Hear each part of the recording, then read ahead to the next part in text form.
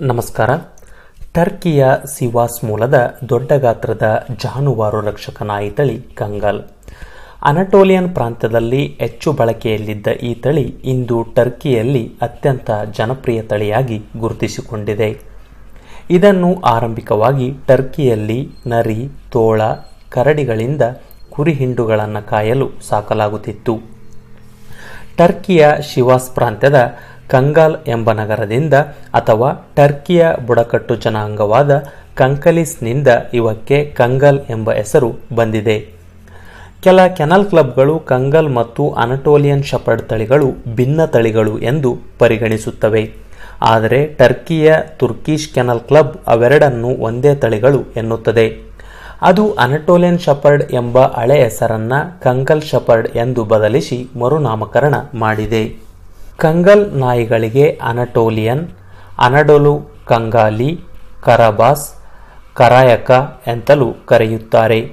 ಕಂಗಲ್ಗಳನ್ನು ಇತ್ತೀಚಿನ ವರ್ಷಗಳಲ್ಲಿ ಆಫ್ರಿಕಾದ ನಮೀಬಿಯಾ ಮತ್ತು ಕೀನ್ಯಾಗೆ ರವಾನಿಸಲಾಯಿತು. ಅವು ತಮ್ಮ ಶೌರ್ಯ ಮತ್ತು ಪರಾಕ್ರಮದಿಂದ ಸಿಂಹ ಮತ್ತು ಚಿರತೆಗಳಂತಹ ಬಿಗ್ ಕ್ಯಾಟ್ಗಳಿಂದ ಅಲ್ಲಿಯ ಜನ ಜಾನುವಾರುಗಳನ್ನು ರಕ್ಷಿಸಿ ಹೆಚ್ಚು ಪ್ರಸಿದ್ಧಿಗೆ ಬಂದಿವೆ. ದೈಹಿಕ ಚಹರೆ. ಇದೊಂದು ದೊಡ್ಡ ಗಾತ್ರದ ನಾಯಿ ತಳಿಯಾಗಿದ್ದು, ಇವುಗಳಲ್ಲಿ ಸರಾಸರಿ ಎತ್ತರವು ಅರವತ್ತೈದರಿಂದ ಎಪ್ಪತ್ತೆಂಟು ಸೆಂಟಿಮೀಟರ್ನಷ್ಟು ಎತ್ತರವಿರುತ್ತದೆ.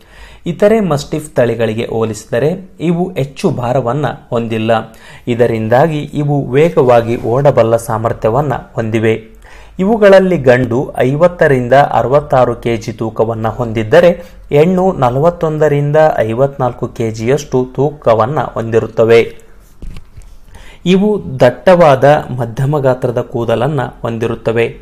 ಇವುಗಳ ಔಟರ್ ಕೋಟ್ ನೀರು ಮತ್ತು ಹಿಮವನ್ನು ಹಿಮ್ಮೆಟ್ಟಿಸುವ ಸಾಮರ್ಥ್ಯವನ್ನು ಹೊಂದಿದ್ದರೆ ಇವುಗಳ ಅಂಡರ್ ಕೋಟ್ ಅನಟೋಲಿಯನ್ ಪ್ರಾಂತ್ಯದ ತೀವ್ರವಾದ ಚಳಿ ಮತ್ತು ಬಿಸಿಲಿನಿಂದ ದೇಹಕ್ಕೆ ರಕ್ಷಣೆಯನ್ನು ಒದಗಿಸುತ್ತದೆ. ವಿಶೇಷವೆಂದರೆ ಇವುಗಳ ಕೋಟ್ ತೋಳದ ಕಡಿತದ ಸಂಭಾವ್ಯತೆಯನ್ನು ತಗ್ಗಿಸುವಷ್ಟು ದಟ್ಟವಾಗಿದೆ. ಇನ್ನು ಇವುಗಳ ಬಣ್ಣದ ವಿಷಯಕ್ಕೆ ಬರುವುದಾದರೆ ಬಹುತೇಕ ಕಂಗಲ್ಗಳು ಬ್ಲಾಕ್ ಮಾಸ್ಕ್ ಅನ್ನು ಹೊಂದಿದ್ದು ಸಾಲಿಡ್ ಪೇಲ್ ಟ್ಯಾನ್ ಮತ್ತು ಸೇಬಲ್ ಕೋಟೆಡ್ ಬಣ್ಣದಲ್ಲಿ ಕಂಡುಬರುತ್ತವೆ. ಆದರೆ ಸೈನಾಲಜಿ ಫೆಡರೇಷನ್ ಆಫ್ ತುರ್ಕಿಶ್ ಮತ್ತು ಅಂಕಾರ ಕಂಗಾಲ್ ಅಸೋಸಿಯೇಷನ್ನ ಪ್ರಕಾರ ಬ್ರಿಂಡಲ್ ಬ್ಲ್ಯಾಕ್ ಟ್ಯಾನ್ ಪ್ಯಾಟ್ರನ್ನಲ್ಲಿಯೂ ಇವು ಕಂಡುಬರುತ್ತವೆ.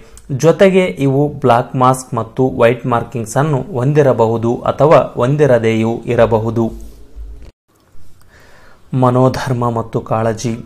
ಇದೊಂದು calm, controlled, independent, powerful, protective dog ಆಗಿದೆ. ಇದು ಅಪರಿಚಿತರಿಂದ ದೂರವಿರಲು ಬಯಸುತ್ತದೆ. ಇದು ಧೈರ್ಯಶಾಲಿ, ಜಾಗೃತ ತಳಿಯಾಗಿದ್ದು ಉತ್ತಮ ವಾಚ್ ಡಾಗ್ ಆಗಿದೆ. ಇದು ಅಗ್ರೆಸಿವ್ ಬಿಹೇವಿಯರ್ ಅನ್ನು ಹೊಂದಿದೆ. ಇದು ಅಪರಿಚಿತ ಜನರು ಮತ್ತು ನಾಯಿಗಳನ್ನು ಸಹಿಸಲಾರದು. ಹಾಗಾಗಿ ಬಾಲ್ಯದಲ್ಲಿಯೇ ಸೋಷಿಯಲೈಸ್ ಮಾಡುವ ಅಗತ್ಯತೆ ಇದೆ. ತನ್ನ ಹಿಂಡನ್ನು ಕಾಯುವ ಮನೋಧರ್ಮದಿಂದ ಹೆಚ್ಚು ಪ್ರಸಿದ್ಧವಾಗಿರುವ ಕಂಗಲ್ಗಳು ತನ್ನನ್ನು ಸಾಕಿದ ಕುಟುಂಬದವರನ್ನು, ಕುಟುಂಬದ ಮಕ್ಕಳು ಮತ್ತು ಪ್ರಾಣಿಗಳನ್ನು ಒಂದು ಹಿಂಡು ಎಂದು ಪರಿಗಣಿಸಿ ಅವರನ್ನು ನಿಷ್ಠೆ ಮತ್ತು ಸೌಮ್ಯತೆಯಿಂದ ಕಾಯುತ್ತವೆ.